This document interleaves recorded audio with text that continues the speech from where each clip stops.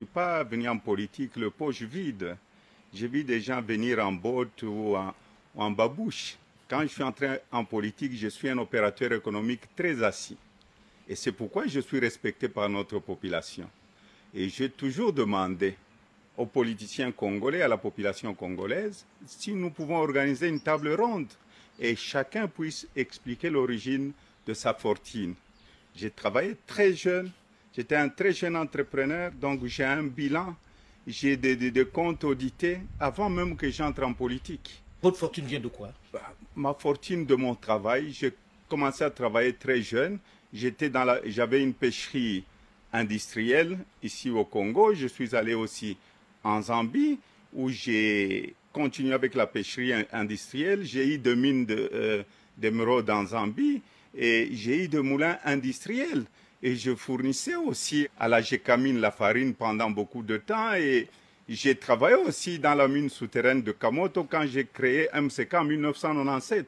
Je ne savais même pas que je pouvais entrer en, politique. Donc Moïse Katumbi n'est pas venu le poche vide, mais on voit de gens, c'est ce qui tue le pays. C'est pourquoi je demande à tous les jeunes Congolais, nous sommes un pays béni. Moi, quand j'ai commencé, j'ai commencé avec 100 dollars. Six ans ou trois ans ou quatre ans après, j'avais déjà gagné le, premier million de, de dollars que j'avais gagné dans la pêche. Donc, j'ai travaillé très dur.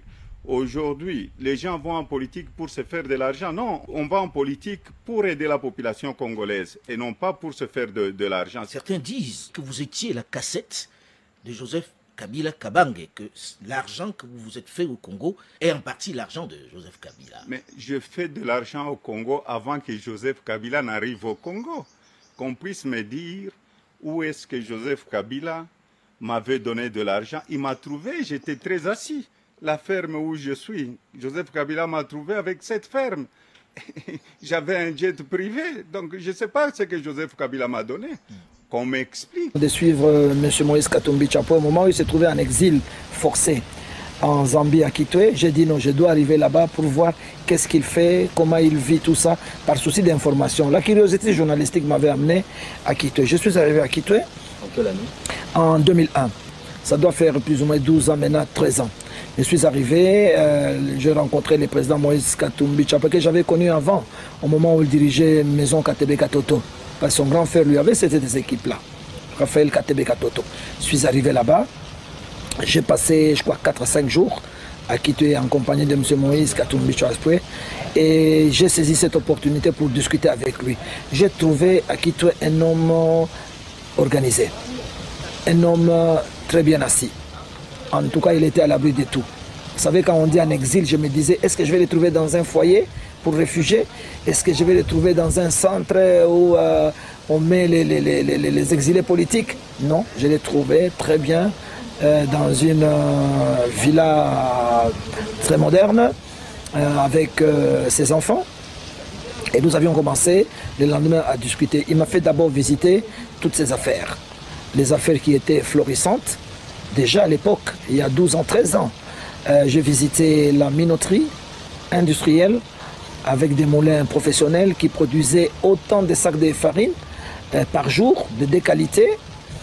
Ensuite, j'ai visité la poissonnerie euh, industrielle qui produisait à peu près 1000 tonnes de poissons régulièrement. Et puis, ces poissons nourrissaient pratiquement toute l'Afrique australe et une bonne partie était envoyée en République démocratique du Congo.